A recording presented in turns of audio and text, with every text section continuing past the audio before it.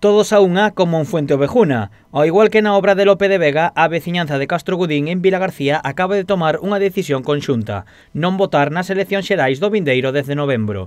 O motivo é o peche do seu colexio electoral. Sen previo aviso, nin explicacións, toda a aldea terá que ir a votar á mesa de CEA, a 2 km de distancia. Porque os do censo retirana, sin decirnos por qué nin por que non. A xente foi convocada Os que van ir á mesa foron convocados, pero para outro sitio, non para aquí, para Castrodín. Non temos mesa electoral e, polo tanto, non vamos a votar. A veciñanza non entende por que lle retiran o seu colexio electoral cando levan votando na aldea dende os anos 80. Levamos aquí votando casi desde a transición. Na década dos 80 empezamos a votar aquí.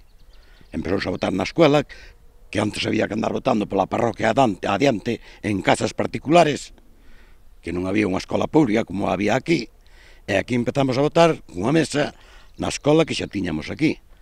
E despois, cando se fixo o centro cultural, en vez de votar na escola, viñamos a votar ao centro cultural, que quedaba máis céntrico para o lugar. E desde esa, pois, seguíamos votando aquí hasta ahora. O Concello descoñecía este peche e ofreceulles un autobús para desplazarse a CEA. A pesar diso, Castro Gudín négase, segundo din, a que os traten como gando. No, aquí o alcalde estuvo aquí outro día, pero non por eso, veu por outras cousas, e nos dixo que, en todo caso, que puñía un autobús, pero para nós nos vale un autobús, porque nós non somos gando da feira.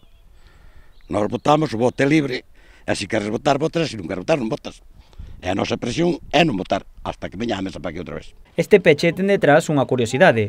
O pasado 16 de xuño de 2016 achegouse a Castro Godín Pedro Sánchez, o actual presidente en funcións do goberno.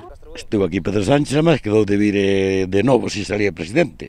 Pero ni apareceu eu nin aparece agora a mesa. A veciñanza de Castrogudín agarda que con este acto poidan recuperar o seu colexio electoral. Advirten que, aínda que agora os ignoren, noutras eleccións os seus votos poden ser determinantes.